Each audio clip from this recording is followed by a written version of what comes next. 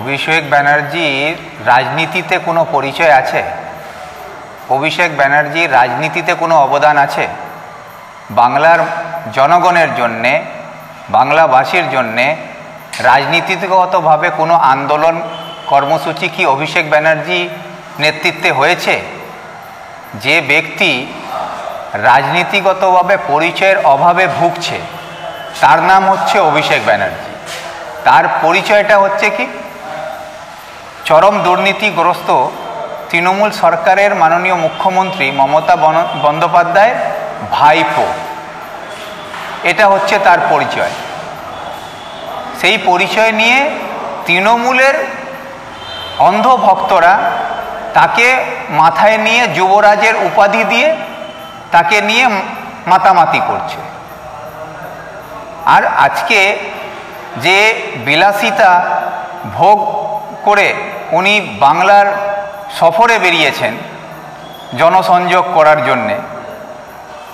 এই রাজার মতন ওনাকে নিয়ে ক্যারাভ্যানে ঘোরানো হচ্ছে।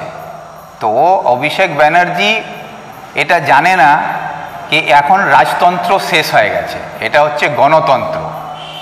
আর গণতন্ত্রতে জনগণের নেতা হতে হয়। রাজা হয় জনগণের উপরে রাজ করা যায় না। সেটা উনি বুঝতে পেরেছেন কি না কিন্তু জনগণ ওনাকে বুঝিয়ে দেওয়ার জন্য প্রস্তুত হয়ে গেছে। তার পরিণাম আমরা দেখলাম প্রথম দিন কুচবিহারে যে পরপর তিনটা সভা উনি করলেন, সেখানে যে ভোট হলো, সেখানে কীভাবে বিশৃঙ্খলা তৈরি হলো, তৃণমূলের কর্মীদের মধ্যে মারামারি, তৃণমূলের কর্মীরাই আহত হলেন এবং ওখানে ভোট বাক্স লুটপাট হলো।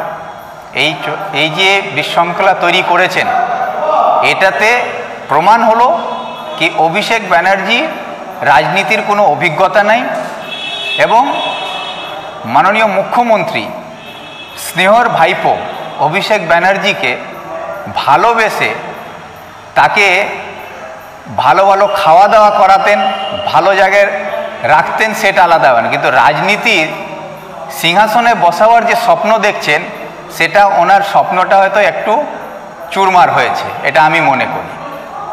কেন কি মূর্খের হাতে রাজনীতির সিংহাসন দিলে রাজত্ব করা যায় না। মূর্খের মতন তৃণমূল সিদ্ধান্ত নিয়েছে কি জনসভার মধ্যে দিয়ে ভোট বক্সে ভোট নিয়ে প্রার্থী কে হবে কে হবে না সেটা ঠিক করা হবে। এটা কোনোদিনই সম্ভব নয়। এতে আরও বিশৃঙ্খলা হবে, তৃণমূলের মধ্যে আরও গোষ্ঠীদণ্ড তৈরি হবে। তৃণমূলে মারামারিটা বেড়ে যাবে। আর এতে মানুষের যে আস্থা সরকারের প্রতি থাকার দরকার, সে আস্থাটা সরকার এবং তৃণমূল দল দুটোই হারাচ্ছে। আজকে আমরা কংগ্রেসের পক্ষ থেকে সাধারণ সম্পাদক হিসাবে আমি তৃণমূল সরকারের প্রতিশ্রুতি যেগুলো দিয়েছিলেন মাননীয় মুখ্যমন্ত্রী সরকারে আসার আগে, সেই প্রশ্নর কোনো উত্তর আমরা পাচ্ছি না রাজ্যবাসী, সেই প্রশ্নগুলো আমি তৃণমূলের দূত হিসাবে গ্রামে গ্রামে ঘুরেছে তৃণমূলের নেতারা, তাদের কাছ থেকেও পাইনি। আজকে মমতা ব্যানার্জির স্নেহের ভাইপো তৃণমূলের যুবরাজ আজকে আমাদের এলাকায় আসছেন, তার কাছে আমরা জনগণের প্রশ্ন রাখছি। সেই প্রশ্নের উত্তর আমরা ওনার কাছ থেকে চাইব কি উনি আমাদেরকে দিয়ে যান। এই দাবিটা আমরা রাখছি জনগণের স্বার্থে।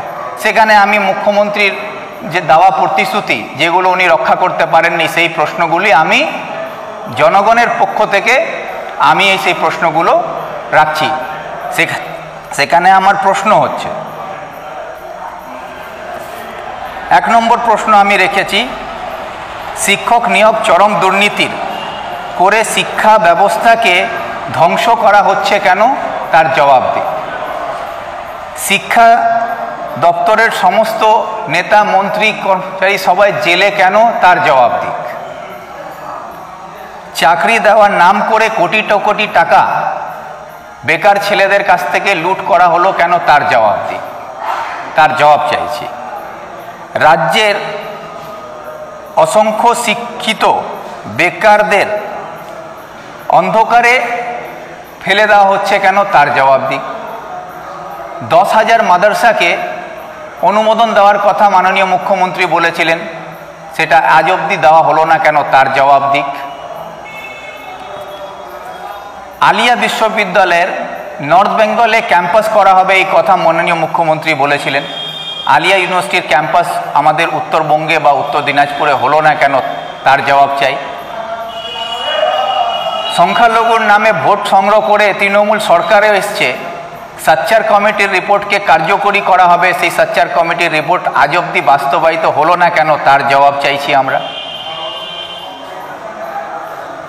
ইসলামপুরে যেভাবে আইন শৃঙ্খলার অবনতি ঘটছে, তাতে আমরা দেখছি চোপড়াতে খুন হয়েছে, তৃণমূলের গোষ্ঠীদণ্ডে ইসলামপুরে খুন হচ্ছে, একের পর এক জেলাতে খুন হচ্ছে। সেখানে আমরা উদাহরণস্বরূপ দেখছি কি, ইসলামপুরে সিভিক ভলেন্টিয়ার সাবদিককে খুন করা হলো।